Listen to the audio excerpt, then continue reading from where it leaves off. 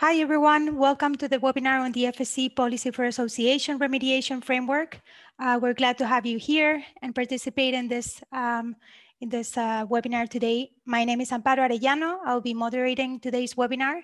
And we have uh, in our team, Salem Jones, who is the program manager of dispute resolution, and Anna Jenkins, who is a consultant participating in this project, and they will be presenting on the uh, remediation framework. We also have Alex Green from our dispute resolution team, who's also supporting us today. Um, next slide, please. So the main objective for today is to really um, engage you as a stakeholder. We wanna make sure that you have a high level information on the FSC uh, Policy for Association remediation framework. Um, so today is a general information level of webinar and uh, we want to make sure that you have an opportunity to provide feedback, ask questions, uh, and really engage and provide us uh, your comments and potentially concerns about this process. So we really want to hear from you. And what we want to accomplish today as our expected outcome is we want to make sure that you are well informed about this process and that you understand what are your opportunities uh, in this process to provide feedback to FSC. Next slide, please. Um, so just for you to know, uh, we are recording this webinar. Uh, it's going to be provided in the FSC website afterwards as a recording. So if you don't want your image to be shown there, uh, feel free to turn off your camera. And we will be sharing this uh, recording with you afterwards, um, also proactively with every participant in today's webinar. Next slide. Um, housekeeping rules so that we all really understand how to engage and ask questions.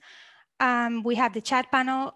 You can raise your hand if you want to talk uh, to the group and share your comments. You can also put your comments in writing in the chat box. We will be checking that and giving the, the word uh, to participants um, as, as the comments come and the questions come.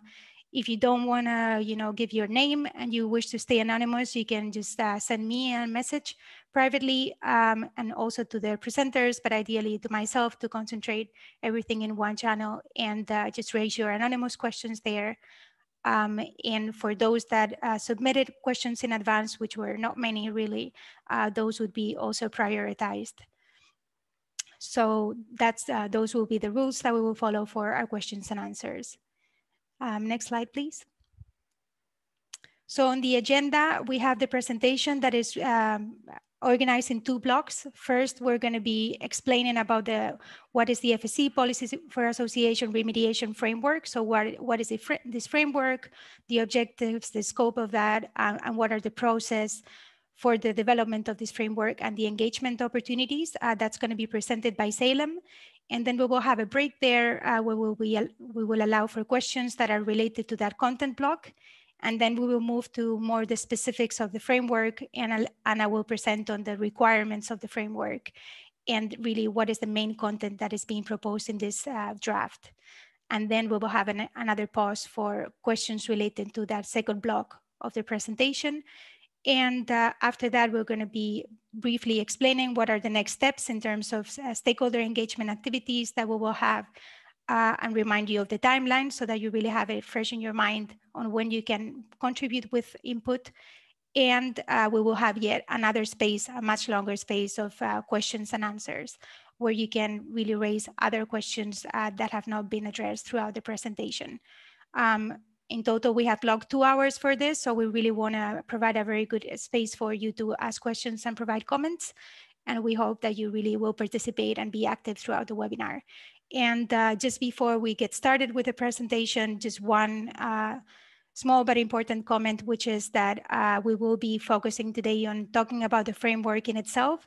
So um, we will not be in principle addressing questions about case specific, uh, about company specific questions. We really wanna like keep it in a global level and really talk about this uh, standardized framework that we're developing. So with that, um, I think we can move to the next slide. Um, and I will hand over to Salem Jones, uh, Program Manager for Dispute Resolution and FSC International, who's going to be providing us the first part of the presentation. Thank you very much, Amparo, for that introduction. Um, we are um, we're very excited to be presenting to you today um, the first informational webinar in a series of webinars on the Policy for Association Remediation Framework. um, this piece of work um, is something that we have been working on uh, together at FSC International um, for the last four years. And this is a big opportunity um, and a, a momentous occasion for us to be sharing this work in this public consultation. Um, I am uh, the program manager, as, um, as Amparo mentioned, the program manager for the dispute resolution program at FSC International. I um, work together with Amparo, uh, coordinating policy for association complaints, as well as ending disassociation processes. Next slide, please. I would like to provide um, you with an overview of what the policy for association remedi remediation framework is, and also to say a few words about what this remediation framework is not. The remediation framework um, is, a, is a composition, is a work formerly known as the generic roadmap. This remediation framework covers um, the requirements, thresholds, timelines, and guidance set by FSC, um, which is uh, intended to address and remedy policy for association violations. The PFA remediation framework is based on um, universal requirements as well as a modular approach. It's designed um, to be flexible to deal with um, all policy for association violations in principle. And I'll get to that point later. The policy for uh, association remediation framework is not a, an organization specific roadmap, meaning that the policy for association remediation framework is not intended to be picked up and applied by any organization seeking to um, seeking to remedy any particular issue um, that they might have in order to end a disassociation with FSC or to resolve a policy for association violation in a pre-certification or pre-association scenario. That process to design and draft and publicly consult an organization specific roadmap is based on this uh, remediation framework, but is actually a different process. And we'll get to that later in this presentation. Um, the, the final um, policy for association remediation framework is scheduled to be um, presented to the FSC International Board of Directors in June 2022. This is the first of two planned public consultations on this work. Next slide, please. You might be wondering where this, this um, needs assessment or where the, um, where the idea of a remediation framework um, came and, and how it is that we, um, that we created this particular framework um, with this particular scope. And the FSC International Board has been formative in laying out high level objectives, um, high level guidance for the development of this work. Um, the International Board um, has laid out that this work, um, the remedy process should be based on consistent requirements, not on arbitrary conditions and thresholds, but they should be applicable to all cases um, seeking to remedy PFA violations. That the conditions themselves should follow clear and predictable rules, that um, the conditions should be transparent for organizations seeking to remedy policy for association issues, that um, the outcomes must lead to a changed management approach, which are demonstrable and measurable and that the remedy process should, um, should contain both aspects of social and environmental um, remediation, and that, um, and that the, the process should involve um, should involve stakeholders and rights holders in the discussion around remedy and that this should be transparent and participation should be clear. An overall outcome or objective of the remedy framework should be the prevention of reoccurrence of policy for association violations in the future, which means that the transformations of the organization should be sustainable and lasting.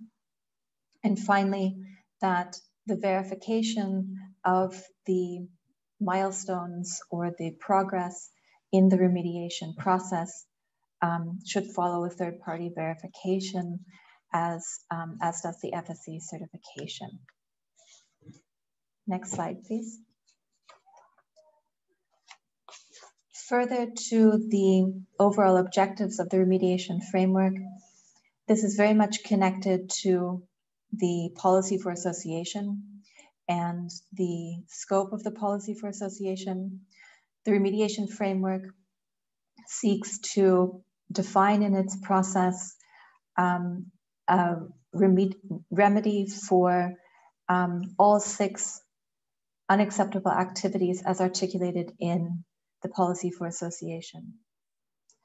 That being said, FSC has never had a policy for association complaint on the issue of GMO and forestry operations. Because of this, um, we have not independently developed requirements and indicators to address or remedy use of GMO in forestry operations. This is an area in the remediation framework that you will see a placeholder for, and this is subject to further learning, further discussion through, um, through the forest dialogues. The objectives um, of the remediation framework are to address the policy for association violations and, and to remedy the harm deriving from those violations, in addition to rebuild trust with stakeholders, rights holders, and also within the market. We do this through the transformation of systems, um, quality management systems, the implementation of FPIC, uh, free prior informed consent throughout the operations, um, and through other marked um, uh, infrastructure pieces to uh, create trust and to prevent the reoccurrence of policy for association violations in the future. Um, another important uh, tenant um, in the objectives of the remediation framework is to establish um, uh, establish access to remedy as, um, as defined in the UN Guiding Principles on Business and Human Rights, and to also uh, develop and define a clear process for obtaining remedy agreements uh, with affected rights holders. And finally, um, to ensure the restoration and conservation of forest environmental values that have been damaged or harmed through policy for association activities. I would now like to explain to you the connection of the remediation framework through the Global Strategic Plan. Next slide, please. As many of you will know, the Global Strategic Plan has articulated um, uh, its, its vision for resilient forests to sustain life on Earth. In addition to uh, resilient forests, we've also added um, resilient communities um, that rely on those forests to sustain life. And um, this is a, this is where we create um, or we co-create um, processes through um, through engagement with stakeholders, rights holders. Um, we engage uh, in peer review processes as well as um, as well as uh, the involvement of experts and company representatives um, in the governance of the remediation framework. Next slide, please. In addition um, to the governance bodies um, within the remediation framework, we also um, seek co-creation through the establishment of remedy agreements with communities, which are mutually agreed. We engage in principles of restorative practice, which again involve um, all of the intersecting interests um, within the harm within the harm scenario.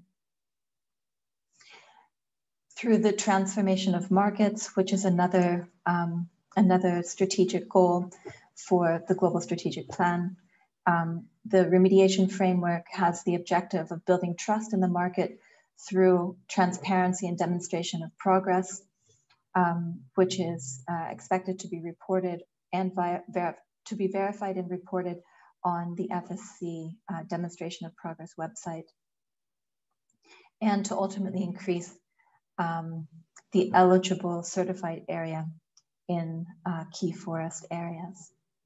And finally, through the um, catalyzing change, the remediation framework seeks to focus the transformation of organizations to prevent unacceptable activities moving into the future, to become resilient, and to create resilient communities, to transform the quality management systems, and to operationalize important, um, important aspects of the FSC normative framework, for example, free prior informed consent in engagement of rights holders and stakeholders, the establishment of grievance mechanisms to manage conflict and, and access to remedy, and to ensure um, credible verification and reporting of progress. Um, next slide, please. This is um, the remediation framework is, of course, does not exist in a vacuum. Um, it's very much connected to the policy for association, as well as to uh, the policy on conversion or um, um, and, and to the conversion remedy procedure. Um, all four of these documents uh, converge around the concept of conversion. As you know, the policy for association articulates um, an unacceptable activity as um, significant conversion, which overlaps with the concept um, found in the policy on conversion as well as the conversion remedy procedure. And as the parent, uh, so to speak, the policy for association, which articulates all of these unacceptable activities, articulates the framework uh, in which this remediation, um, the policy for association remediation framework um, lives inside. FSC has intentionally um, has intentionally opened up consultation on three of these um, of these intersecting documents so that members and stakeholders have a good overview of the concepts and the direction that FSC is proposing um, in in these um, in in this new this new policy work. Next slide, please. Um, so the three public consultations which are currently ongoing are the conversion remedy procedure, the FSC policy for association, and this public consultation, the PFA remediation framework. The policy for association, the parent policy to the remediation framework, uh, is open until the 17th of July. So we welcome your um, we welcome your comments to that policy um, very soon. The um, PFA remediation framework will be open, public consultation will be open until the 21st of August. So you have a bit of time um, to participate in further webinars, which we're scheduling, um, the next of which is this Friday at 12 o'clock um, CST time zone. We hope that you're able to participate. We welcome your feedback. Uh, we welcome um, we welcome um, learning from you, and um, and we of course welcome your participation in the webinars. Next slide, please.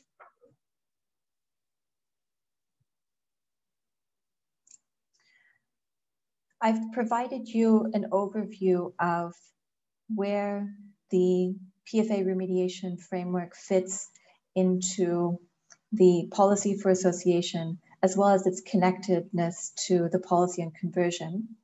Um, I've also provided you a very short overview of where the, the PFA remediation framework fits into the um, strategic importance of the, of the Global Strategic Plan. I would now like to bring you to an overview of the remediation framework um, as a document. Um, the, in this diagram, um, you will see that the remediation framework is organized into five main parts. There's a prerequisite um, and uh, drafting stakeholder consultation phase. There's then an implementation phase, a, um, a phase of, of restoration and remedy, then a verification, a final verification for ending disassociation, and then moving to the completion of the, um, of the roadmap itself. This is a high level over, overview, a landscape overview of the concept of the Policy for Association Remediation Framework in a linear, um, laid out um, in a linear way. The stars that you see represent FSC decisions, which are taken at key points in the implementation of the remediation framework. These stars represent very serious and intentional milestones in the progression of the framework. Um, the prerequisites and the um, and the drafting of a company specific roadmap um, uh, ultimately um, result in a public consultation of the content of a of a uh, organization specific roadmap, which is then finalized and brought to the FSC International Board of Direction uh, Board of Directors uh, for approval. This decision um, must take place before a roadmap can actually start an implementation process. Only at this point will a company be able to apply um, the, the roadmap to its operations and to actually um, start implementing the milestones. It's also the case that only at that stage would verification of those milestones begin. Um, the one the one last piece I would like to explain in this slide um, is that, um, as you will see in, in number four, the verification for ending disassociation, um, the roadmap continues, the arrow continues past the ending disassociation mark, meaning that completion of the roadmap is not, is not final. The, the further completion of the roadmap would continue in parallel to an opportunity for the organization to re-engage um, in a certification process or reassociate with FSC. I would, next slide, please. I would like to spend um, a moment in describing the application of the PFA remediation framework in a pre-association or pre-certification scenario and in an ending disassociation scenario. You will find the remediation framework lays out um, the scope of the remediation that needs to be performed in a pre-association, pre-certification scope as that of the company group as defined by the policy for association and for an ending disassociation scenario, um, the remediation framework calls for um, remedy to be applied to not only the company group, but also to its wood and wood suppliers. This difference um, comes from the um, comes from the fact that an organization in a pre-certification or pre-association um, scenario has never been associated with FSC. FSC's um, um, in an ending disassociation scenario has um, conducted an investigation on PFA violations um, that have not been previously disclosed. The company the organization has been um, associated with FSC and there has been some level of trust that has been breached between FSC and the organization, which has led to ultimately a disassociation. Um, and for this reason, uh, in an ending disassociation scenario, the remedy applies to um, the wood and wood fiber supply chain as well. Next slide, please. The policy for association and the policy on conversion are the two high level documents which articulate the uh, remedy process for one for remedying a legacy of conversion and the other for remedying policy for association violations. Um, what I would like to explain here is at what point in time which policies apply to which uh, to which uh, status, of, status of association. In pre-association, pre-certification, the FSC normative framework applies, meaning the policy for association, the policy on conversion, and the two uh, remedy procedures, respectively, depending on which level of, um, of unacceptable activity has occurred. During association, both the policy for association and policy and conversion continue to apply to the certification process or to the association. And um, in an ending disassociation process, the policy for association remediation framework applies to remedy um, policy for association violations. And in the case of conversion, um, uh, one of the one of the uh, pieces that we would like to clarify in public consultation is where and at what point the conversion remedy procedure would apply to ending disassociation cases. Next slide.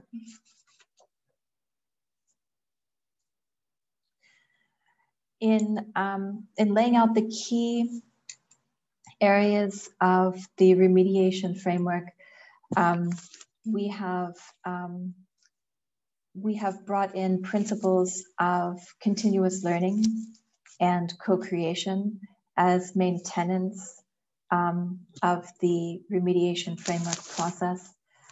Um, later in the presentation, you will see that we do this um, through iterations and um, through uh, continuous um, building on learnings that we have um, in the implementation of the remedy processes. Um, we also um, have emphasized the importance of reporting on um, demonstration of progress and ensuring that reporting um, is done in a credible manner and uh, and that this is um, this is emphasized and articulated and um, and and repeated throughout the remediation framework um, to highlight the importance of, of transparency in uh, the progression of the remediation process. You will also find that uh, methodologies are peer reviewed and that peer review bodies are set up to review methodologies, provide feedback, and to ensure that best science and best practice are emphasized uh, throughout the development of methodologies. Um, furthermore, uh, we have um, paid close attention to the creation of strong and meaningful engagement with rights holders and stakeholders in the requirements and indicators level of the framework. Um, you will find um, also an emphasis on restorative practice and principles of restorative justice, and that um, the intention of the requirements and indicators is to provide outcome oriented um, solutions for driving remedy, but not a prescriptive how to manual on how organizations should apply those indicators, uh, those requirements and indicators within their operations. Next slide, please. Um, I would like to provide you a, a, very simple overview of the, the process and timelines. We will, we will return to this at the end of the presentation. but for your information, we um, are currently in the consultation period for the remediation framework. This will go until the 21st of August. Um, we will then move into a um, consolidation of stakeholder feedback. We will also be connecting with the conversion remedy procedure, stakeholder uh, feedback in order to connect the dots between those two remedy processes to align and to um, and to learn from the both of these public consultations. We will then move into a drafting and revision process. We will present um, our work thus far to the Interna FSC International Board of Directors in November of this year to provide an update on the outcomes of public consultation and where we've gotten to in terms of revision of the remediation framework.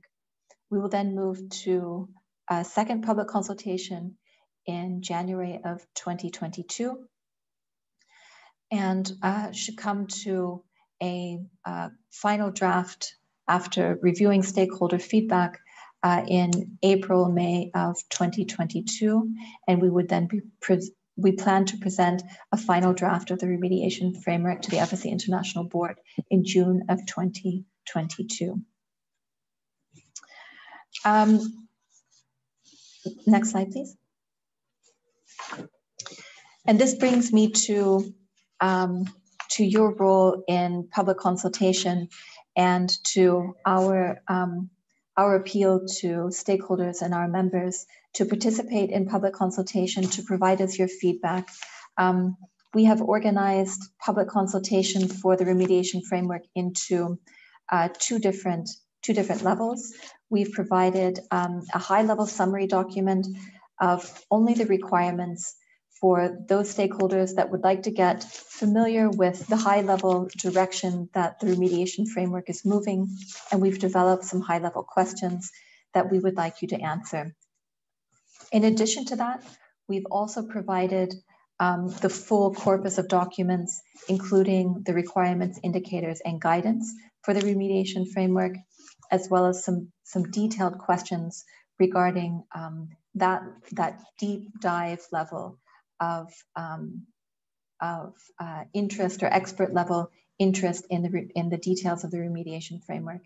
And, um, and for those of you that would like to get involved um, in a deep dive in certain sections of the remediation framework, this is also possible. You can just concentrate on certain sections, for example, environmental remedy or social remedy. Um, and provide feedback at that at that deep level and then return to the high level questions so we've we've tried to meet um, a diverse set of, of stakeholder um, needs in terms of, uh, of um, addressing expert level um, issues as well as high level, um, just wanting to provide general direction feedback on, on the way this, this um, policy is moving, uh, excuse me, the way this framework is moving. Um, we will be holding a, a tech, two technical webinars that are scheduled. It's possible that we would schedule additional technical webinars. And it sounds like um, from this morning session that we will also be putting together a podcast on uh, some of these deep dive issues as well. The next uh, technical webinar is scheduled for this Friday, the 2nd of July at 12 o'clock. That will be two and a half, uh, sorry, 12 o'clock CEST. Um, that will be a two and a half hour session. We've also planned uh, another technical webinar for the 22nd of July um, for another two and a half hour session. Um, just for clarity, the topics that will be discussed in those two different two technical webinars are likely to be different. Um, we are going to develop the content based on stakeholder feedback from these informational webinars and also from, uh, from uh, the questions that we've received from stakeholders in advance. So I think um, that covers the stakeholder engagement opportunities and the general overview. I would like to hand back to Amparo for questions. Thank you, Salem, for this very good um, presentation on the, uh, the overview of the framework. Um, we have two uh, people that have engaged in the chat box. Um, the first being Heiko, um, making a really good question um, that I think many people in the audience are asking themselves. And he's asking, why are there four uh, procedures um, that have some level of overlap and why, why are they not combined in one holistic uh, policy or procedure that would make it less uh, complicated? Um, perhaps Salem, uh, you could speak to that point. Hi, Heiko, that's a great question. And, um, and I can say that, you know, the, the genesis of this work um, really started with the, um, with the motion seven, um, well, with motion seven, the approval of motion seven, um, the motion seven uh, working group, which then developed the first uh, draft of a, of a conversion policy that was then um, revived into the Motion 12 working group that, um, that has now um, articulated this latest policy on conversion. And, um, and I think it's really that the story, the story started from the motion rather than the story starting from higher up and looking at the lands, looking at the landscape of FSC policy and remedy from a holistic approach. Um, there was there's a kind of historical um, historical aspect to the creation of um, of or to the to the introduction of the idea of remedy um, within within the FSC framework and um, and the the starting of this story, I think, with with motions has started a ball rolling, and that's um, that's resulted in the proliferation of of these these four policies. Thank you for that uh, response, Salem. Um, the next question we have in the chat box comes from Alan Smith. Uh, he actually is asking four different questions in, from very different nature. Uh, but the, the first one, very interesting for all of us, I believe, is uh, how is the procedure financed? So basically, how is this paid for? If you can respond to that. Yeah, um, so this, um, thanks for your question, Alan. This, um, this work would be um, would be paid for by the organization which is implementing their company specific roadmap. Um, and, um, and that would be um, that would be up to the organization to um, adequately fund and um, and provide the supporting supporting processes and structures in order to implement and run the remedy process in terms of the infrastructure that would be required at FSC to, um, to support this work. Um, this is an, uh, a subject of ongoing discussions within FSC International, um, but certainly the, um, the third party verification, setting up the third party verification uh, would have some cost as well as the operation of the um, what we call the um, demonstration of progress website. Um, these um, these are probably um, smaller costs, but still something that um, that we um, would need to look at within FSC International, how we would continue to support this work. Thanks, Salem. Um, question two from Alan. Uh, we're not going to be answering right now because uh, um, Anna Jenkins is going to be speaking to that point later in the presentation. So we believe that's going to be covered there. And if that's not the case, then we will get back to you uh, on the point on the due diligence. We have another question from him that it says, is there a cutoff point if the conditions for reassociation are not complied with? Five years is a review point, but some cases can go on seemingly forever. So he's asking here about the timeline of this process. And then he adds to that um, if there's a probation mechanism or an alternative uh, as an alternative to disassociation. Um, I'll hand that over to you, Salem, if you can respond. Sure. Um, regarding the timeline, um, just to be clear, the, the five-year timeline is, it, that is correct, Alan. The idea is that there would be a five-year review if ending disassociation had not been achieved within that time period. Um, but that, uh, that timeline is, um, is an example, um, is an estimation, um, and it could really depend on the complexity of, of the organization specific roadmap as to when that review period would be established. It could be five years, it could be seven years, depending on the complexity. Um, and again, that timeline is there not to put pressure on, um, on remedy agreements um, and not to put pressure on communities to come to resolutions on remedy agreements, but rather to um, continue, continue implementation um, to ensure that there's motivation and intention behind um, the progression of the milestones. So that's the intention there. Um, regarding the uh, a maximum timeline, um, we would we've not articulated a maximum timeline that um, that a company would have to fulfill the the uh, roadmap, their company specific roadmap in. Um, we have um, we have have said that we would review the um, the roadmap, the the agreement between FSC and the organization implementing the roadmap on a biannual basis, meaning every two years um, so that we have these check-in periods to make sure that things are running um, in an orderly, orderly way and that, and that milestones are being achieved and that there's good progress. But I agree that um, sometimes um, these processes are quite complex and it, and it can take time. Thank you. Regarding, oh, sorry. Oh, no, sorry. I thought you had finished with that point. Um, I just wanted to mention regarding uh, probation, so I, I believe, Alan, you're you're referring to um, the um, uh, procedure 01009, um, the procedure on processing um, PFA complaints. There is um, there are, are alternatives articulated in that procedure, um, which would allow for decisions to be taken outside of disassociation or no or not disassociation. So that um, that flexibility or um, that space is available in that in that new procedure. It's just been published in January of this year.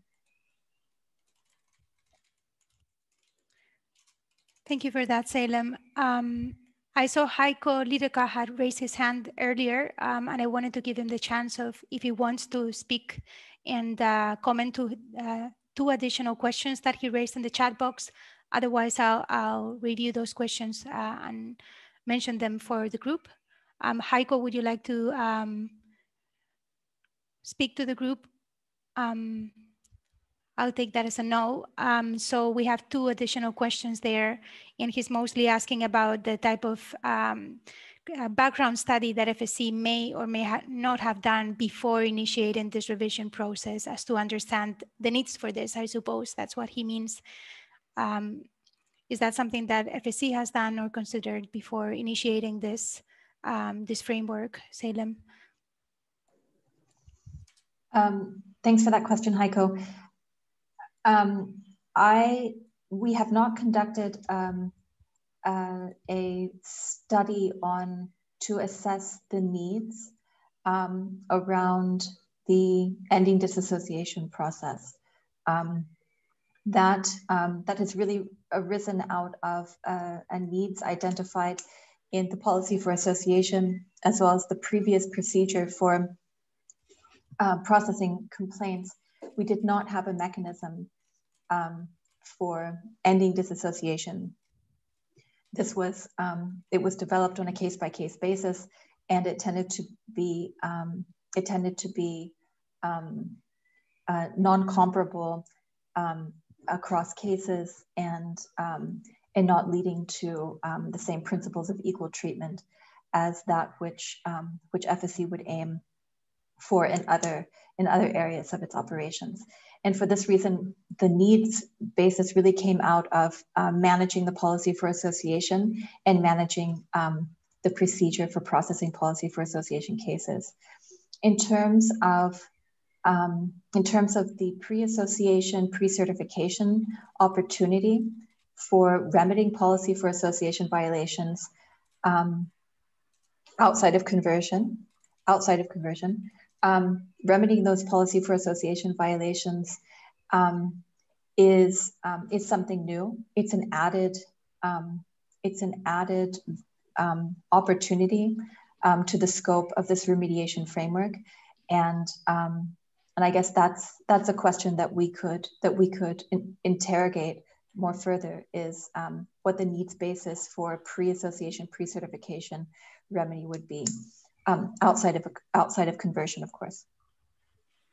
Thank you, Salem. Uh, we're going to give the, the floor uh, to Heiko. He still wants to comment a little more on this point, so we're just going to give him that chance. Heiko, um, pl uh, please feel free to uh, speak your mind here and sh share your points.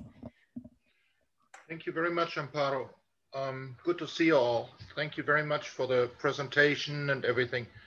Um, I have one, or had um, earlier, one um, small point to my earlier question on why these different policies were not combined in a hierarchical framework. Um, I know the history of where this approach came from, but wouldn't it be, um, or maybe just as a food for thought at the at the policy program in FSC International, wouldn't it be time to now recombine those things in more consistent, more hierarchical frameworks?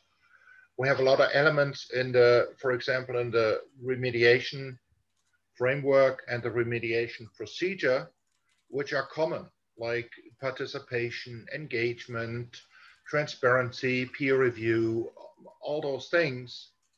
Um, similarly, with the with the policy approaches on policy on association and conversion, and so on. So that's one thing. More food for thought than actually requiring a reaction. Um, but it would be easier for constituents to basically follow the approach if it was one succinct hierarchical framework, which then split up in different aspects of implementation. Um, the other question that I had on the on the studies, um, having been involved in in uh, um, some of the uh, different policy as of uh, policy for association cases. Um, uh, I think that you know one one of the things that um, would have been quite important is that there's a is a comprehensive evaluation of how these cases and where the sticking points were, how they were evaluated, and all these things as a prerequisite for a review. And then furthermore, in some of these cases that I have been involved in, we took quite a careful look at other organizations and how they handled similar cases, especially in the very early days of the policy for association where we had no real concept in our mind.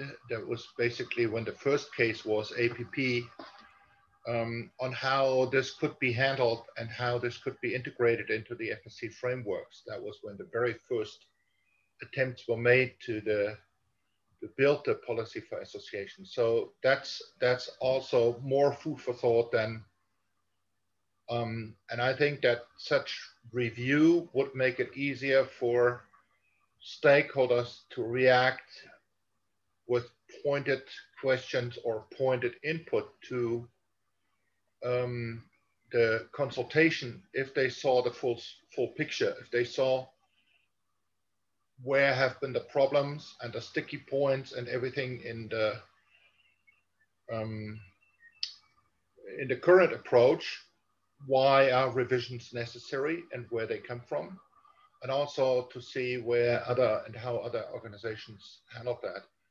Last point, you pointed out that in the procedure for implementation, um, that there is um, more options. There was before only the option of either association or not as not a disassociation or not disassociation, and that there are now more options. Um, has this been constructed? I know, and I was involved in one case where the board outside of policy and procedure implemented one such option, which then led to a big, huge mess And uh, the next board meeting after they had decided that, they withdrew that again and whatever. In the meantime, another complaint had been launched and so on and so on. You know the case. I'm not going to go into details. I'm still under terms of confidentiality. Um, but have those things been very, very thoroughly evaluated before building new options? Um, the one thing is that, you know, and I'm coming from a very particular point, I think a procedure like that needs to be based on factual decisions, not on political decisions. And we live in a political environment, left, right, front, and center. Political decisions are always taken. And I think FSC would maneuver itself into a, an absolutely impossible situation if these everything related to this policy was not based on very clear fact, but based on political um, opportunity. Yeah. Um, I think maybe I could just respond sure. quickly to, to the last point. I mean, there's a lot of food for thought in there, Heiko. Um, and I can um, I can maybe send you an email to to answer to some of the points, some of the food for thought that you um, that you've provided, because I think it's maybe um, you, you, and I could have a telephone call to to address some of this food for thought and um, and play out um, some of these some of these ideas that you're that you're offering. Um, but just to the last point regarding um, kind of an, a, a, holistic evaluation of the policy for association and and looking into the alternative to association and, and disassociation. Certainly through case management, we have done an internal evaluation of, um, of these controversial decisions. This was part of the um, policy for association um, materials that were prepared for the technical working group reviewing the policy for association and working on that, that document that's actually out for public consultation. So we we have looked at other organizations and what they're doing um, to address controversial and unacceptable activities. Um, and those organizations are also looking at us, and we've been in dialogue um, with with organizations to also let them know what we're doing um, and how we're thinking about this. So this this dialogue is um, is taking place. It's rather informal. We don't have a formal platform for this. This is um, probably something that that could happen in the future um, that could be developed but at the moment it's it's based on the goodwill of the organizations involved but certainly um, we are thinking along these these lines and um, and and looking outside of FSC into into the um, the wider landscape to understand and to benchmark our own our own thinking here so but thank you for those um, thank you for those the, the food for thought as you say and happy to, to speak um, about that further. Thank you, Salem. Um, I just want to make sure that we cover the most of the questions that we can, and at the same time, we have enough time to cover the, the rest of the presentation because we still have a quite a chunk of material to cover. Um, so the next uh, comment that we had is from Sera Noviani. Um, uh, we think your comment is going to be answered in the next part of the presentation that Anna is going to provide. So um, we're going to park it for now. And then if you still feel that your question is not answered, we'll come back to it and make sure that uh, it's clarified. Um, so we'll put that on hold. Then we have a hand raised from uh, Stuart Valentine. I'm going to give you the, flo the floor, Stuart, and uh, for you to share your point. Um, if we can keep it brief, um, that would be good so that we can later move on to the rest of the presentation.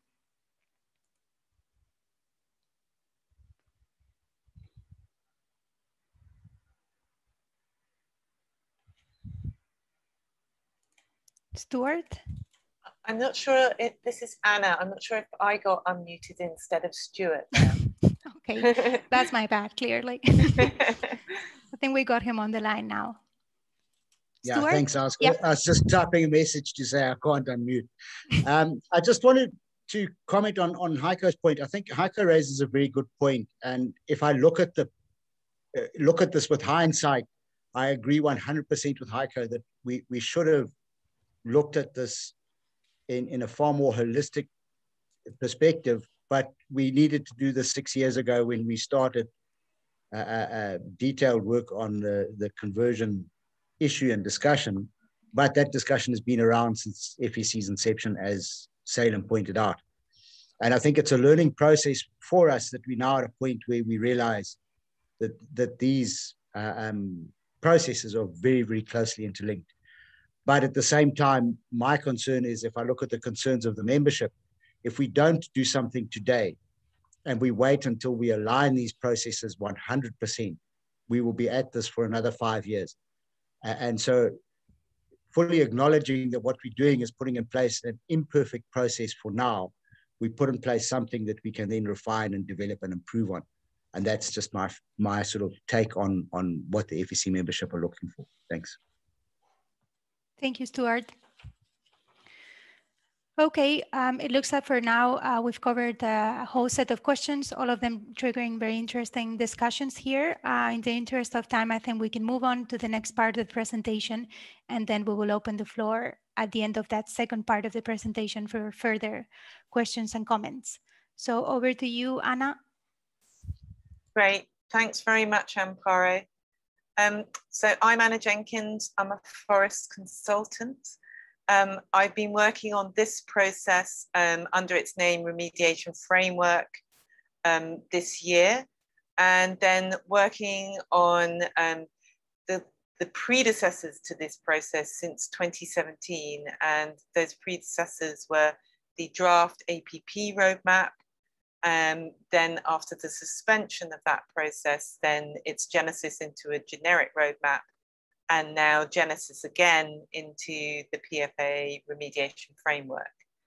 Um, I've been working this year with my colleague Shizuka Yasui based in Hong Kong um, and we've worked to to take a fresh look at the work that we did already and to present it in a different way. We hope this is more of a logical framework. Uh, we hope it's easier to use. Um, we hope we're combed out perhaps um, some of the case specific issues and made it more generic and more applicable globally in a general sense. Um, because the detail obviously will come with organization specific roadmaps and that this is the framework which holds those and guides them as to what they must contain. So um, next slide, please. So um, there are four documents in the consultation pack that you find on the um, consultation platform. There's a high level summary, which I would urge all stakeholders to read. Um, it contains a foreword as well as an overview of the different sections within the remediation framework. Um, and that foreword that's the only place that, that foreword is. And it captures the spirit and intention uh, of this document. So then we have the main FSC remediation framework, and that's where all the detail is in terms of the um, requirements and the indicators. Then we have a guidance document. Um, it's cross-referenced with that main um, remediation framework document, so you can use them side by side.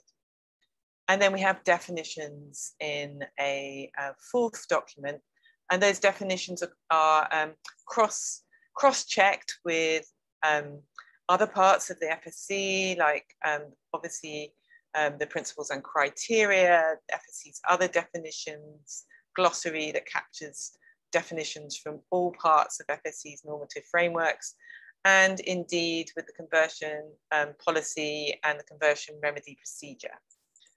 Um, so that's still a work in progress, but our intention is obviously to um, align definitions absolutely across the FSC um, normative family. Um, next um, slide, please. So this is an overview of what we call the restorative continuum. And this is for the process of remedy harm. This is whether or not it's social or environmental. So these are the, the general principles and steps that need to be applied at each stage. Um, so we start actually um, at the pre-roadmap stage, um, the pre-remediation framework stage. So when we say roadmap here, we mean, mean an organization specific roadmap as um, defined in 01009, which um, defines how we process complaints of the PFA. So at that pre-roadmap stage, there needs to be acknowledgement of harm done uh, by the company. So they cannot enter a roadmap process until there is acceptance that there has been harm done and acceptance of the willingness to remedy that harm. Uh, and no matter the nature of that harm. And at this stage also, we may not see the complete picture of harm, of course, but acknowledgement uh, at the very least of the harm that has brought the parties um, to FSC um, under a complaints procedure. So um, the, the um, next full step, stepping into the roadmap. So this is once a roadmap has been established, and once we're inside the remediation framework structure, then the first step is to establish foundational infrastructure and systems. So what we would usually find is when there's been a failure, where there has been um, a PFA, policy for association violation, it's very often due to a lack of that base level foundation infrastructure and systems. This is where the due diligence systems lie, for example. And this is all in what we call section U, which U means universal. The next step would be identification of the rights holders, stakeholders, the rights and the harm. Um, so rights holders being a subset of stakeholders, uh, their, their rights being critically important and what harm has actually taken place. There's several ways that we can identify harm and I'll be talking about some of those in future slides. So once we have that identification done, then we can step into the dialogue process because we know who our rights holders and stakeholders are. We can gather them together and then we the first thing we need to do is say, okay, what will be the process that we will enter into? Because the very first thing is to agree the process and make remedy process agreements. Um, generally, uh, quite rightly, stakeholders, rights holders have quite strong opinions about, you know, how can we conduct this process of dialogue? There are many different approaches. There may be traditional approaches for some cultures, and those traditional approaches really should be given um, foremost consideration. Um, so having a discussion about having a discussion, we will come up with, um, the parties involved rather, will come up with remedy process agreements. Once they're agreed on the way that they will go forward with their process, they can make that agreement and then they, they're ready to start the remedy process discussions, the dialogue in earnest. So then we get to the stage where we hope we're having these discussions. We hope we get to an agreement stage.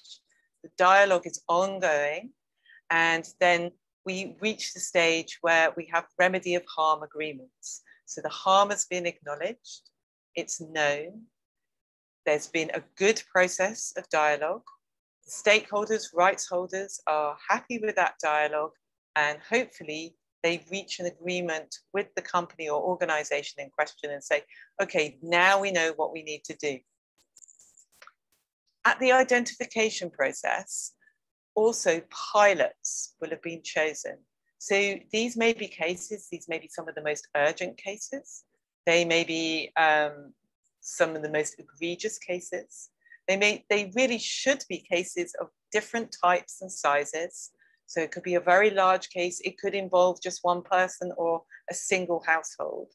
But to have a range of cases so that those can be piloted, you'd be used as pilots to then test these remedy process agreements and test um, and make sure that a remedy of harm agreement can be come to. Um, there will be priority activities identified. And these activities, priority activities in the remediation action stage, the remedy stage, these priority activities will have to be put into place.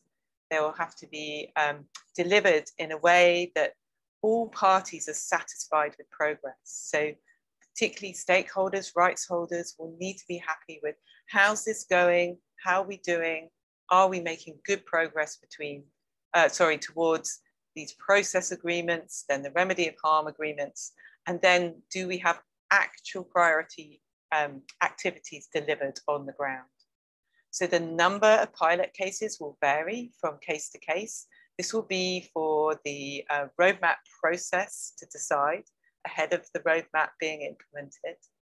And once we know that we've got those cases um, in place, we've got the priority activities met, then this is what would trigger, okay, now we are ready to end disassociation once we've got to that stage.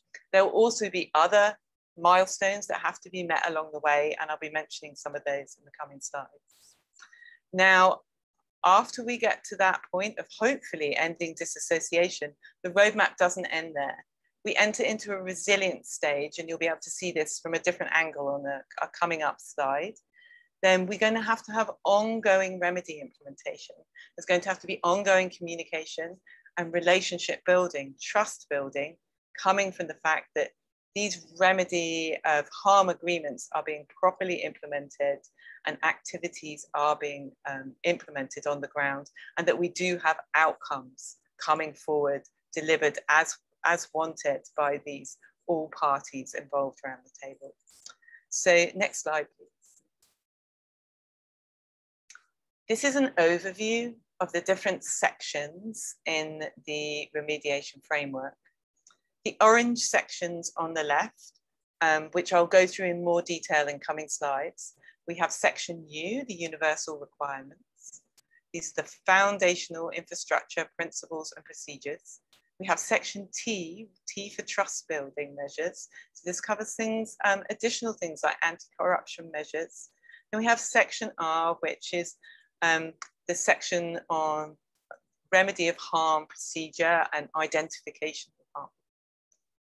Then um, that section R at the bottom of the orange section that inter um, that interrelates with two more detailed sections. We have RE for remedy of harm for environmental issues. Oh goodness, sorry about that. I just stopped my telephone. Um, we have section RE, that's for environmental issues. And we have section RS, which is remedy of harm for social issues. Now the RE is more detailed than the RS section, and we'll come to that. Then in the top right-hand corner, you can see um, a gray area of boxes. So these are PFA elements, um, specific elements. So the policy for association elements. We have elements A to F, covering all the different um, unacceptable activities that the PFA details. So within the remediation framework, we have a section for each of these, and this section will guide the reader, the user, to which sections of the remediation framework they need to apply. And it will also add if there are any additional very specialist requirements for that situation, it will detail those. And um, in the case, particularly for um, significant conversion, for example, there's quite a lot of clarification of um, which parts apply and also in relation to the um, conversion remedy procedure, because obviously there's an overlap here, which Salem covered. So we go into detail there of which, which um, parts apply under which situation. I'm not going to go into great detail about these, um, these sections A to F in this um, webinar, but if you want to know more about that, then please come to the technical webinars and we can get into more detail of that. Next slide, please. Okay, so here's that other view. So here we can see um, the, the rough starting point and the flow through um, of each section in the remediation framework. So on the left, we've got a light green strip and that shows the start of the organization specific um, roadmap. On the right, we have a sort of darker, more lime green color strip, and that marks the end of um, disassociation. Um, obviously, if all the, all the um, necessarily uh, milestones and pilot um, delivery of priority activities, etc., as long as those are met, then there would be an ending of disassociation at those points. And what we can see here is some sections start sooner than others. Section U will need to start first of all to get those foundations in place. And then the, probably the last one to start will be the remedy um, of harm process, because we need to get a lot in place before we start that. But all these sections, they all run through and they all go past the ending of disassociation point. So this meaning that it doesn't just all stop once disassociation has ended. Ending disassociation and um, if the company does get FSC certified in any way, whichever certification they choose, then that continued certification is dependent upon the um, remediation framework, the company specific roadmap has to still be kept up with and completed. So there's an overlap. Next slide, please. So in this slide, what we're wanting to illustrate to you is that it's quite an iterative process. So while it is step by step in a linear fashion, we have to check back. So as we get into the detail, as we identify rights holders and stakeholders, as we identify harm, we find that, okay, maybe the picture is fuller than we imagined. Maybe there are more people involved than was originally imagined perhaps the harm is more extensive than originally imagined. So we may even get into the remedy of harm process and the pilot cases and find out more and more as we progress. So we will have to track back if we identify more stakeholders, more rights holders, then we track back. If more harm is identified, then that's tracked back and added to the registry of harm. So it is linear, but it's also iterative. So there's a continuous improvement feedback. We improve processes as we learn from pilot cases and we track back and check, okay, have we got the right people involved here? Are we seeing a complete picture? As we get more um, information, perhaps from independent experts involved, then again, we track back and um, it's an iterative process. We've given a, a, a great simplification of the, um, um, the conversion remedy procedure at the bottom, just to touch in so that you can see that the different names of the different stages of the conversion remedy procedure. But um, you know, this is very simplified, so this is not meant to be a replacement for reading the CRP. So next um, slide, please. Okay, let's take a look at some of these sections in a bit more detail. So there's the sections again. And I mentioned those gray sections, which I call section A to F. And those are the requirements and guidance sections specific to the PFA elements. We won't get into any more detail here um, after this slide, but just to mention again, come to the more detailed um, sessions, the technical sessions for that. So let's start with section U, the universal requirements. Next slide. Okay, so here's an overview. Um, these are some of the uh, ground issues that it will be covering, and we'll go to the next slide to get into some of that detail. Okay, so requirement 1.1 um, sufficient resources and applying continuous learning. So there needs to be sufficient resources to ensure that the company specific roadmap can be actually properly um, implemented. And continuous learning needs to occur. So we've put some of these um, very universal requirements in section U, because otherwise we would be repeating ourselves constantly through, throughout the remediation framework saying, you know, make sure there's sufficient resources, make sure people are sufficiently trained, make sure that you learn from what's happening. So we put these here as a general principle that must be applied everywhere. The remediation governance body in 1.2, this is absolutely central. This governance body is semi-autonomous from the company. So it does have company representatives on it, but 70% of the representation at least needs to come from others. And those would be rights holders, stakeholders, independent experts would form that remediation governance body. And they have a lot of work to do to review and oversee all of the process that unfolds under the company's or organization specific roadmap. There must be a grievance mechanism. This is a central tenet of the UN guiding uh, principles on business and human rights. Um, the grievance mechanism provides the way that harm as it occurs can be caught. Problems, conflicts, grievances can be um, heard properly and respectfully, and then remedy applied as an automatic part of the company's systems um, to ensure that the company um, is making amends routinely, but is also learning as well. And again, this requires um, an independent governance body, again, as specified by the UN guiding principles. That might be the remediation governance body, um, but that would be for those involved to decide. That would be one option, for example. Um, we need to have systems in place to stop and prevent unacceptable activities. When we say unacceptable activities, we mean no violations for the policy for of the policy for association. So those are the policy elements A to F.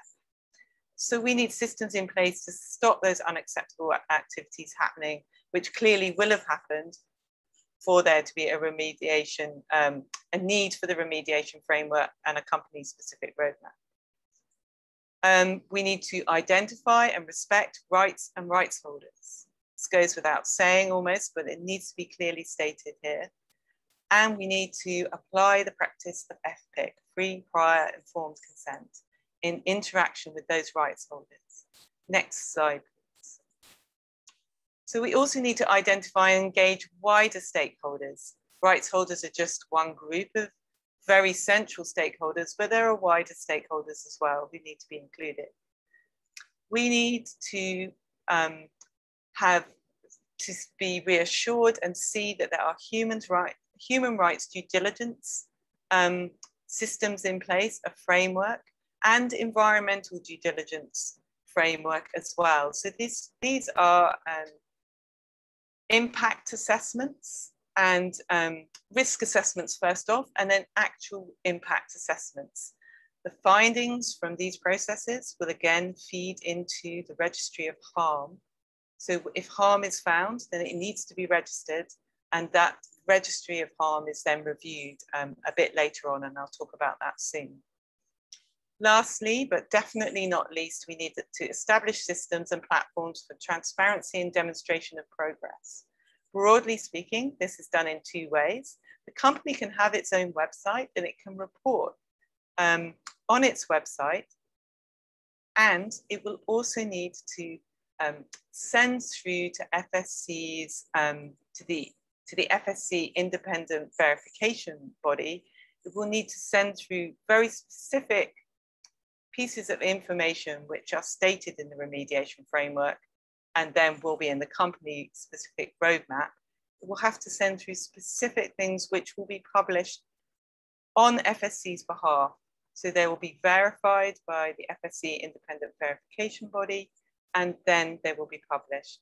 And that um, progress website, the remediation progress um, website, that is the um, defining place where um, progress of companies through the roadmap, that's where that's stated.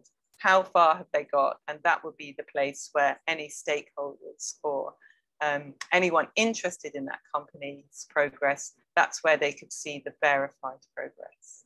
Next slide. These are the trust building measures. Um, it's a shorter section, so these are additional measures and it includes the application of the controlled wood standards and anti-corruption measures and making sure that all taxes, fines, fees and penalties are paid. Next slide, please. So here's where we find, um, find them in the different requirements sections. So um, the most detailed section here is the application of FSC controlled wood. Um, let's go to the next slide and have a look at the detail of that. So the first thing to say about this is when we say application of the FSC controlled standards, uh, controlled wood standards, we are not meaning that the disassociated company can get controlled wood certified. It can't because it's disassociated from FSC.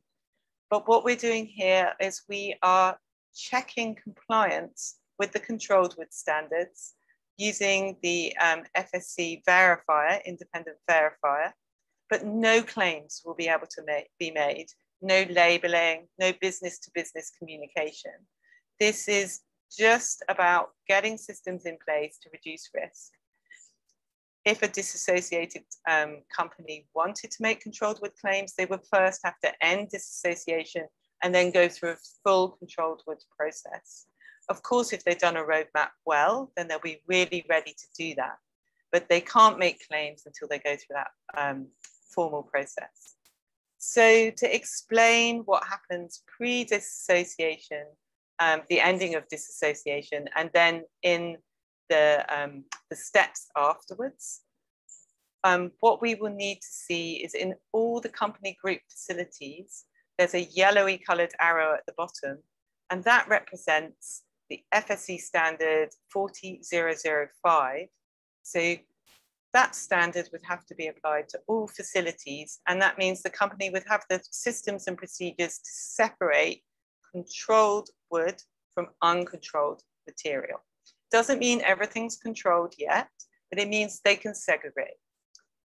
Then there would be um, the identification of first priority suppliers, second priority suppliers, that's the middle arrow, and then all other suppliers, so the lesser priority. The first priority are likely to be the most risky.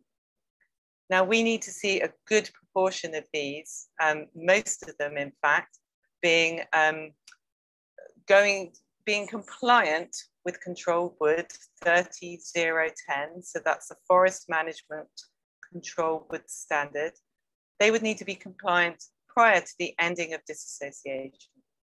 The gray area you see on this um, graphic is the growing area of proportion of actual controlled wood in the system. So after ending disassociation, then there needs to be the focus on getting the second priority suppliers up to speed and having making sure that they are all control wood compliant. Then finally, all other suppliers, so that once we reach the second milestone, which could be um, it's, you know, we're calling it A years and B years at the moment because that will change case to case. This will be for the stakeholders and those involved in setting the company specific roadmap would need to decide what is A years, what is B years. But once we get to that second milestone, we need to see all supply is controlled wood. So next slide. Oh, sorry, I just wanted to mention that in terms of um, uh, uh, section T, could you just go back a couple of slides, Alex? Thanks. Yeah, in the anti-corruption measures, we ask a specific question in the stakeholder questions about perhaps widening these anti-corruption measures. And again, this is based on other systems, and particularly um, taking some learning from the mining sector. So take a look at that question if this um, interests you specifically. So yeah, two, two slides on please, Alex. Okay, so this is section R, the remedy of harm procedures. So this is um, where we identify and prioritize environmental and social harm. Now we will already have some harm cases in the registry of harm pot. We will know from the grievance procedure and we will know from due diligence procedures. Um, but we need to do an extra step here. We, we also cover remedy of harm um, procedures in detail, um, including the dialogue and pilot cases. Next slide. So these are the titles. Requirement 3.1 and 3.2. This is a revisitation, part of this iterative approach. Have we got the right rights holders um, here? do we have the right stakeholders here? Are we engaging them? So then we have mapping of environmental and social harm. So first we have to um, agree the methodologies, and then we have to map and actually agree the maps. So these will be peer reviewed. The governance body will be looking at these. And when we've identified harm in this third way, then that goes to the registry of harm. And that requirement, uh, the indicator for the registry of harm is inside 3.3. So then we have um, procedures to remedy of harm. Now this describes not the exact way that everybody must do it, because that's gonna change in culture to culture, situation to situation. But what it does describe is the ingredients for an, um, a, a process that goes well. So there will need to be good information, there will be, need to be good empowerment and systems to adjust for power differences. There will need to be the right place. And we're using the right process. I've mentioned already about um, traditional processes in certain areas. Now, those need to be given very high respect and very high priority. Would these be the right way for the conversation to happen, the dialogue to happen? That takes us to those remedy process agreements I spoke about before. In this, um, in this section, we identify those pilot cases. Um, some of those will come from the prioritization of harm, which happens in 3.3. And the pilot cases um, need to be chosen at this point because that's what's going to go forward into the actual doing um, prior to ending disassociation. So next slide, please. Um, remedy of social harm. This is a relatively simple section actually, because most of what's needed here has already been stated in section R, um, R in particular, and underpinned by section um, U. So this is kind of like a reminder section. And again, like all section, transparency and progress needs to be reported on. Next section. So the remedy of environmental harm is a little bit more complex. Um, we have more requirements here. And we have landscape level conservation and restoration plans. And then we have the implementation of pilot plans on site level. Next slide, please. So um, in these sections is where the detail is. We're not going to get into great detail for these sections here in this webinar, but if you would like to really get into the the detail of exactly what is in a landscape level conservation and restoration plan, then please come to the technical webinars. Um, I can give um, an overview of um, some principles here, just as an, um, to capture the main points. And so there are some main principles, and those principles are the need for um, equivalence. So when a certain amount of area is lost, say a certain amount of HCV is lost, then we need to have um, a proportionate area will need to be conserved um, or restored as part of the remedy. We also have um, the equivalence um, principle. So that means if a certain HCV has been lost, we can't just replace it with any old thing. So we would need, um, so if it's a peatland area, it would need to be uh, remedied with an equivalent peatland area if the exact area cannot um, be uh, um, restored or conserved. Then we have the principle of proximate to the impact area. And then we have principles of additionality and longevity as well. So as I say, we can get into more detail there in the um, technical webinars, but that's just to give you the main principles now. So next slide, please. So we're ready for some questions on this. Um, if people have read documents already, then yes, we can go a little bit deeper here. Um, and that's fine to ask questions that you have. If they're very detailed, then we can direct you into the next um, technical webinars, but we'll do our best today. So thanks for listening and over back to you, Amparo. Thank you, Anna. Very good presentation. Um, we have a question from Hartono, which is a representative of FSC Indonesia, for those that um, don't know here in the chat. And he's asking, how are we going to define control wood equivalent or above? And then he's making the point of whether FSC is going to consider other schemes as control wood equ equivalent or above, which I think is an interesting point.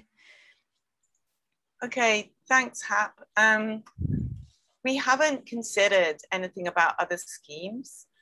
I think this would be much more appropriate to be done at the point of defining an organization specific roadmap, because it would be for those in the region to understand clearly you know, what is the equivalence here. I think what's really important is that the FSC third party verification um, body, the, the, the verifier, they're going to be taking the FSC controlled wood standards and they're going to be saying, okay, has this been met or not? sometimes it's quite hard to speak about like mutual recognition of other schemes, but it may be through experience um, that it is learned that actually these really are equivalent. I'm not sure I, in my position, I'm in a place to predict that, but just to emphasize that it is the controlled wood um, standards themselves that those verifiers will be taking into the field and checking. Thank you for that clarification, Anna. Um, we had parked, um, so I can see that Alan Smith has his hand raised. And before we had also uh, parked a question regarding due diligence. I'm going to give you the floor, Alan, and um, you can share your thoughts now. I don't know if it's an additional question, and you can also let us know if um, yeah. we have clarified your point about the due diligence before. Okay, I'm um, I'm quite happy with due diligence, and thank you very much, Anna, for the very uh, comprehensive explanation. Uh, what I, I do have is, is going to just one other point, which is about uh, transparency and demonstration of progress. Uh, I haven't seen anything about how this will be communicated more widely, more publicly. As you will be aware, in the international media this year and last year, uh, there was very negative publicity about one particular case. And I'm wondering if uh, this also is incorporated into the uh, procedure, that is, uh, communicating beyond those directly affected. Thanks. Salem, did you want to speak to this first of all? I'm just wondering because I think it sort of crosses over. Obviously, Alan, we can't talk about specific cases here. Right. Um, but I mean, it's certainly the case that in our guidance, and then it, it becomes part of the contract, which I think is the piece that Salem needs to speak about. But within the guidance, they cannot, uh, no one can overclaim progress. Um, you're talking specifically about negative publicity on specific cases. Um, obviously, what we're focused on here is truth speaking about what's actually happened in, terms of progress and verification of that. So that's just slightly different what the remediation framework contains to what you're asking. So Salem, do you have anything to add on contracts and what maybe Alan's I, saying? Yeah, maybe I can approach this. Um, maybe Alan, it's it's help, helpful to to separate this into two different uh, communication pots, so to speak. We have the communication around demonstration of progress on the implementation of the company specific roadmap. And we also have FSC's communication that we make around um, dispute resolution cases, policy for association complaints, um, uh, updates uh, regarding investigation of policy for association complaints. And, um, and I think what, what you're pointing out is that there has been um, there has been stakeholder um, attention and stakeholder criticism around the way FSC is managing its communications around um, policy for association complaints and policy for association investigations. Um, and as well as today, demonstration of progress of, of, um, of companies um, um moving through the progression of the conditions that FSC has placed. In the future, what the PFA remediation framework calls for is a dedicated site, a dedicated website that um, would would actually publish the verified um, uh, verified reports um, regarding the implementation of company specific roadmaps. So we're actually proposing that this um, the way we go about communicating the progression of roadmaps and the ending disassociation um, processes would actually be kind of ramped up or made more visible through this demonstration of progress website. I hope that answers your question, Alan. Uh, yes, it, it does uh, to a large extent, and I'm very happy that this is taken on board.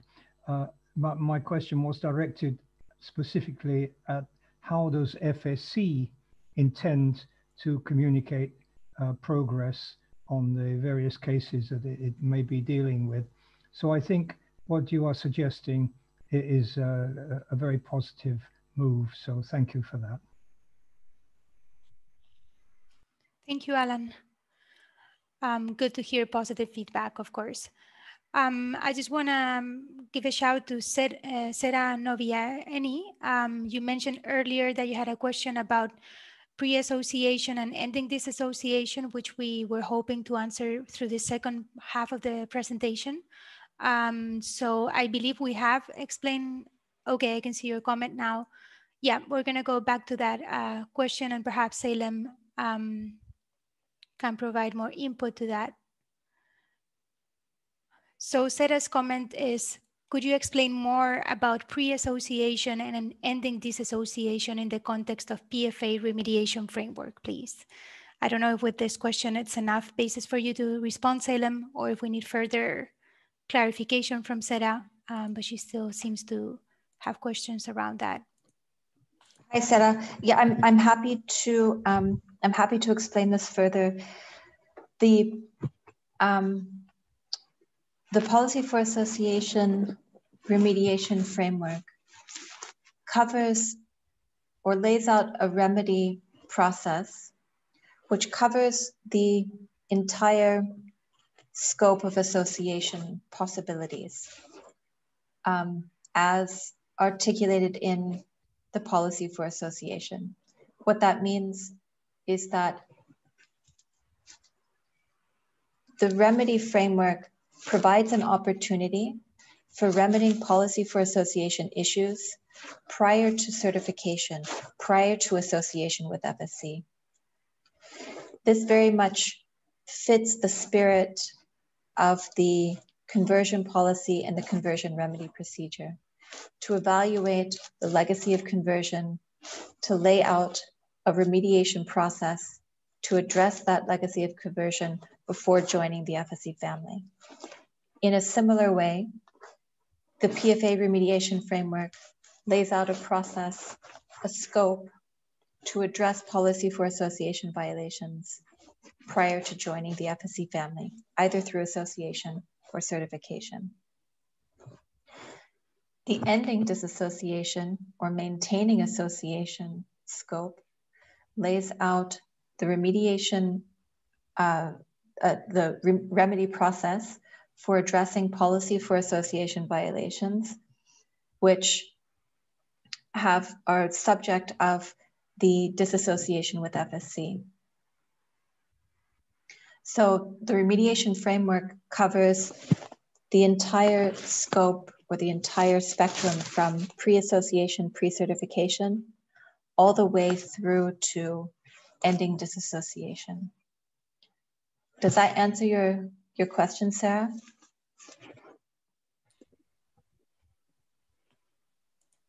Hopefully um, those clarifications have covered that question. Otherwise, please uh, let us know and we will explain further. Thank you, Salem. Um, we got another comment from Chris just now. Um, yeah, it's just a comment, nothing to really answer there. And then Sera is confirming that yes, uh, her answer is a question has been answered there. Um, so I think we can move on to the last few slides uh, where we explain about the timelines and process, and then we can open up for the very final set of qu uh, questions and answers. And in the meantime, I invite everybody in the audience to really uh, think if they have any questions or comments they would like to ask. I can see the, the chat is a little less active than before. Over to you, Salem. Thank you, Amparo. Um, again, I just wanted to highlight that um, uh, we've just started a public consultation for the PFA remediation framework. Um, today is the first day of webinars that we're hosting. We're planning two additional webinars, um, one on the 2nd of July and another on the 22nd of July. We're also open uh, to scheduling additional technical webinars on further subjects um, on a needs basis. We've also discussed uh, in the morning session that we will um, we'll put together a podcast to also um, take a deeper dive into some of the um, more interesting pieces of the remediation framework. So um, we're just starting consultation now, but there's lots of opportunity to provide your feedback and to engage in a discussion with FSC around some of the ideas in the remediation framework, which we would, we would very much uh, welcome. Um, in addition to the webinars, there are also um, consultative forums um, that are taking place um, through membership forum. And uh, these are, of course, connected to larger conversations around conversion um, and, uh, and other topics, but of course, also very relevant for the remediation framework. I also wanted to just um, emphasize one last time that the uh, public consultation for the policy for association revision is still open. You have a few more weeks to participate in that public consultation before it closes. It is the parent uh, policy to the remediation framework, so we would welcome you um, providing your feedback on the public consultation platform um, as soon as possible. Um, and the last the last slide, I would like to just leave you with um, a few of our, our final take home messages. Essentially, that um, the, the policy for association remediation framework, um, we have, um, we've paid close attention to connecting this to the global strategic plan, um, to connecting this to um, the movements in the uh, conversion policy and the conversion remedy procedure to the developments um, uh, in the policy for association, and of course, the learnings from FSC uh, case management in processing and managing policy for association cases over the last um, now 13 years. So this is really, um, uh, this body of work um, has really culminated um, a lot of a lot of learning is connected to a lot of pieces um, that or a lot of discussions um, that are ongoing at FSC, and um, there's a huge opportunity to um, to create uh, a really important um, and monumental piece of work here, and we're very excited about being part of it. So I would like to close. Uh, the, our presentation there, open up the floor um, back to you, Amparo, for, uh, for questions. Um, we don't have any new questions in the chat box um, or hands raised in the in the participants list. So we'll keep an eye on that. If somebody has something else they would like to ask or comment, please do so. And we will start going through those questions in order. Um, in the meantime, um, Salem, perhaps you can answer uh, a question I have that I've had for a while um, that I think maybe some people in the audience also have uh, which is about the timing for the publication. Um, and we know this has been, uh, the remediation framework has been developed uh, throughout a rather long uh, time frame. And um, yeah, the question is really, how come we're publishing this now and perhaps not before? Yeah, I think um, I think that's a good um, a good question, and I think it's it's important to explain that um, you, it's true that um, this work has been ongoing for the last four years, um, that we have um, developed our thinking, developed this, um, this process really through um, a hands-on application of trying to develop an ending, ending disassociation procedure um, in multiple cases. We have worked on the development of conditions for ending disassociation in many different cases, specifically um, the, the idea of developing a standardized framework came out of the experience um, working on the Asia Pulp and Paper Roadmap.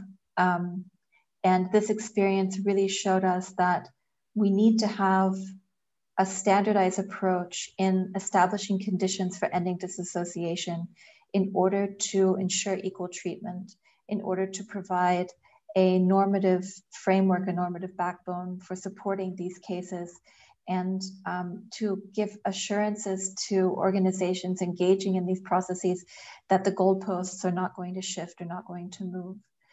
And that um, it's only through the creation of a codified um, process will we be able to provide those assurances and, um, and, and ensure equal treatment and, and comparable results over time. And so through the, um, the articulation of this need, um, we began the development of, at, at the time, what we called the generic roadmap, um, which was a process to further, um, um, further bring the roadmap that we were working on to a higher level, to a, a, a more applicable, um, to a scope more applicable to across commodities and across uh, forest areas.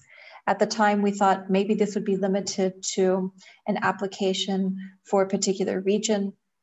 Um, and then um, in our further discussions, we said, actually, no, um, we need to have a framework which is applicable across all regions and then rely on company specific roadmaps to really dive in and address the company specific um, company specific implementation and, um, and feasibility issues in individual organization specific roadmaps. And that's, that's kind of where we have, um, where we have gotten to now with the PFA remediation framework and the draft that we've brought out to public consultation.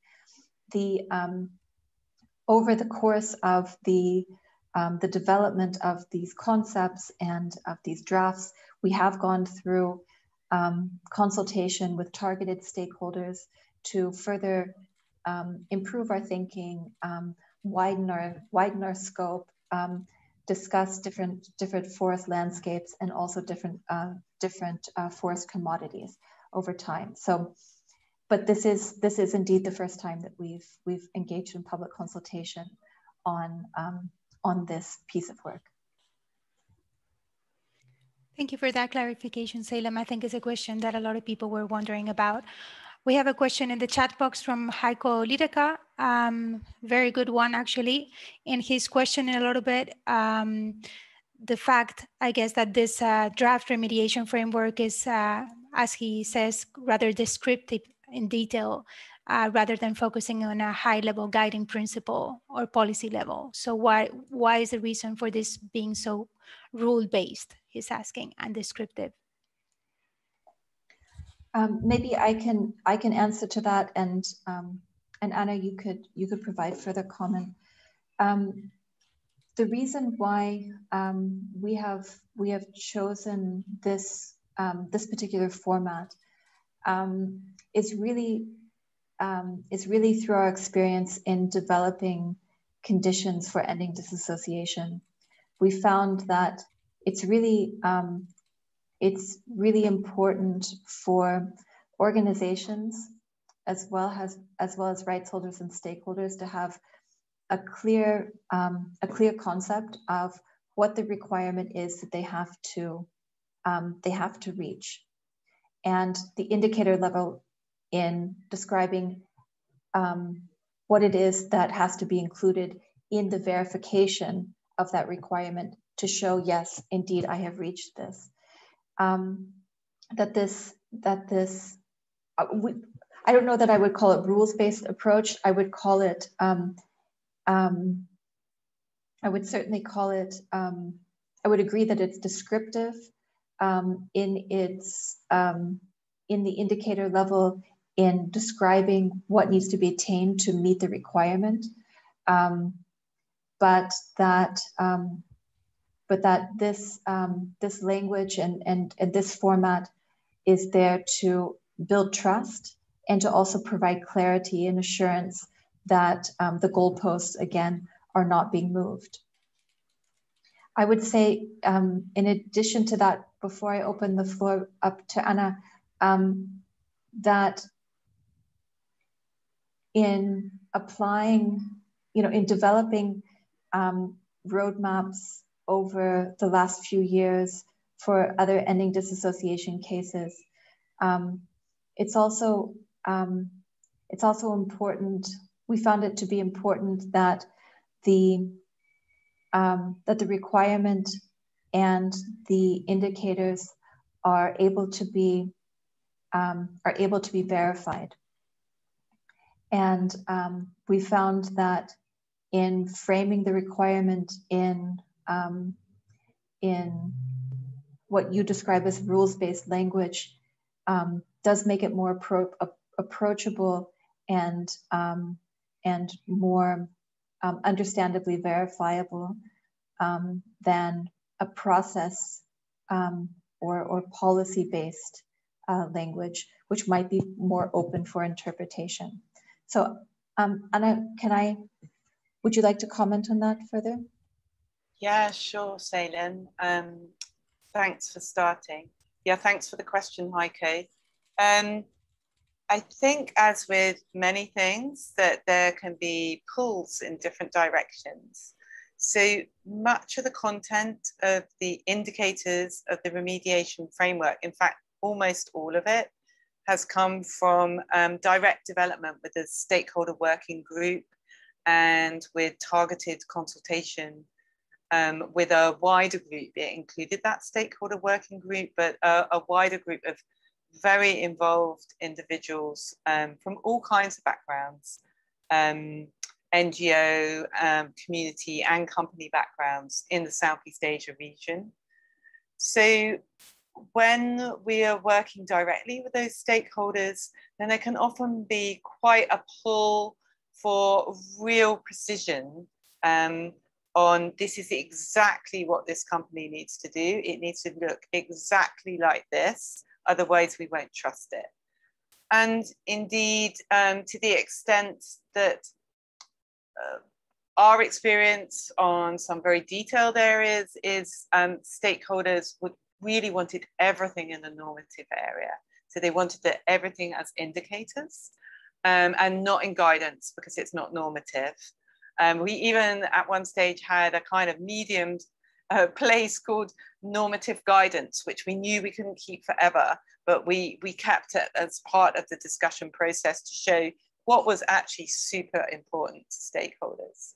So one of the consequences of that is that um, in that kind of pull can lead to much more detailed what you would call rules based and perhaps what you're meaning there is it's not outcome orientated it's more rules based um, we hope that we've got some balance in this document now. It may be that it's still a little bit top heavy on rules based, but if I, I've just got it up in front of me now and I just chose a section at random and where I am in, in, in this is in 3.3, the identification of environmental and social harm.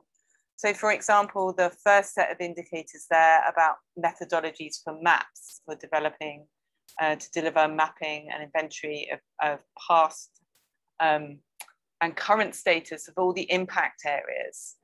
Um, and in this section, for example, we don't say what those methodologies should look like. We don't actually say anything about those methodologies at all. We just say, please state the methodologies. What we do say is these are the areas it's got to cover. So it must cover natural forests converted since 1994. It must, must cover HCV areas.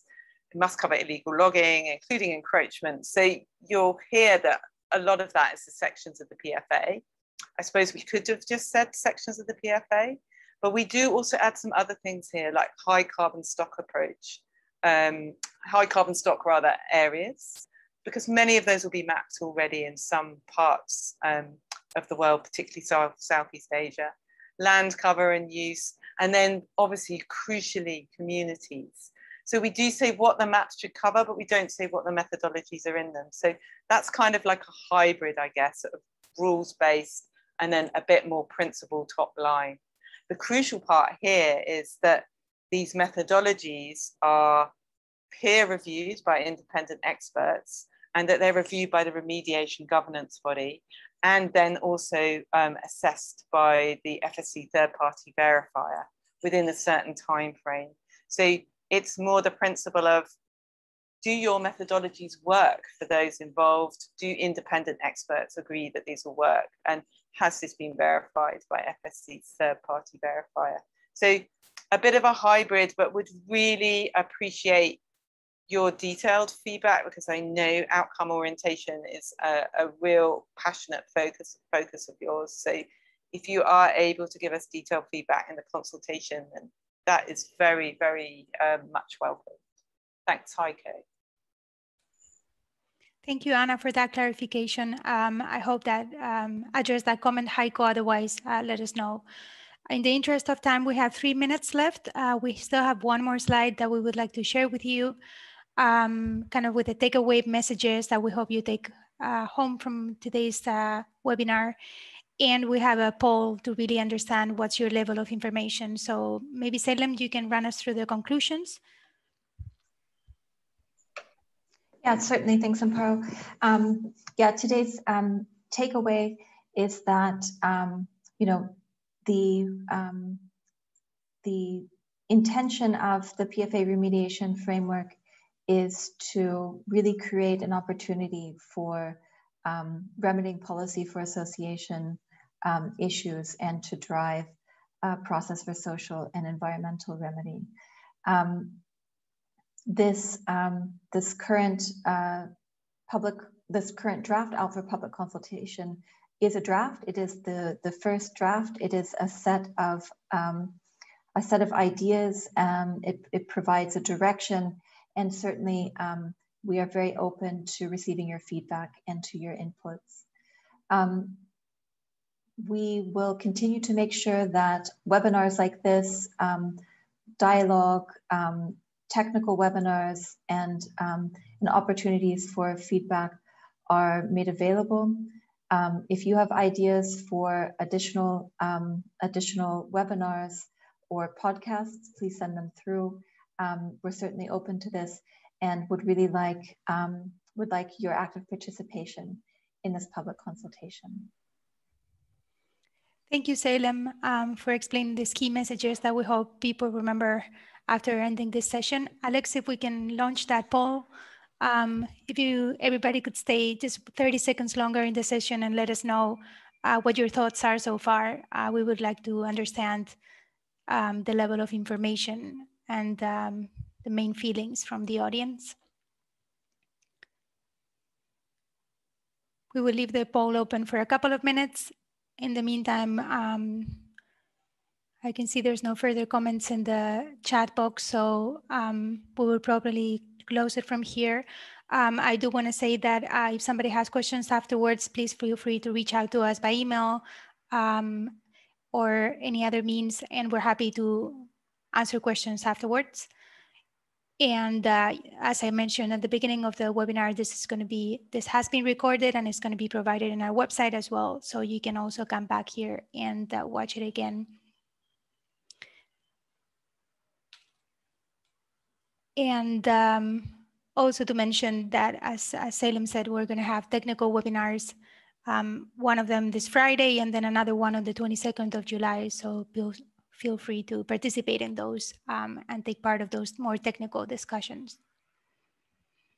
We have now 46% of the participants that have uh, filled the vote. So we're just gonna give a few more seconds to hopefully get some more answers and a more representative uh, conclusion. Now 53.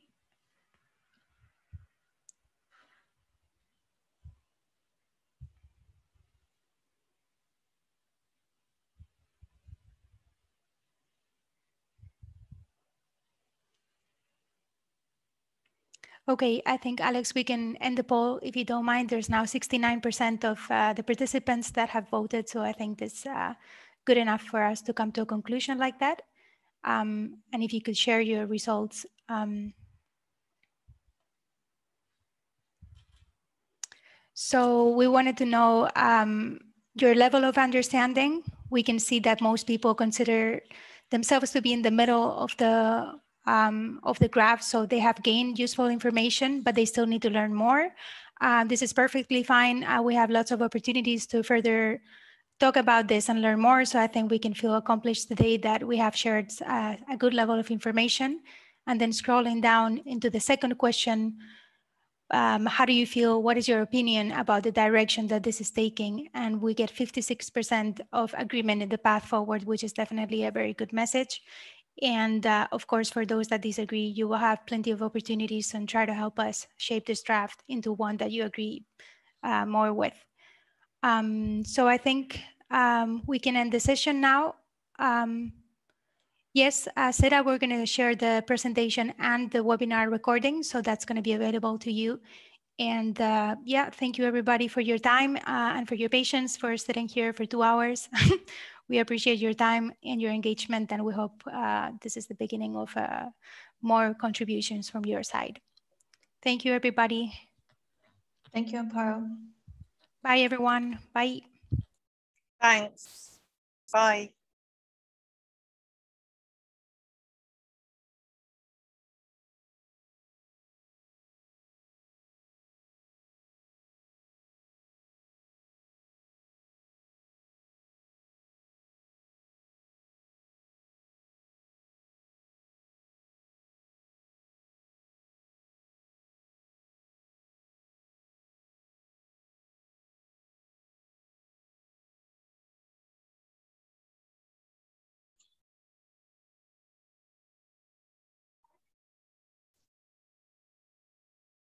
嗯嗯。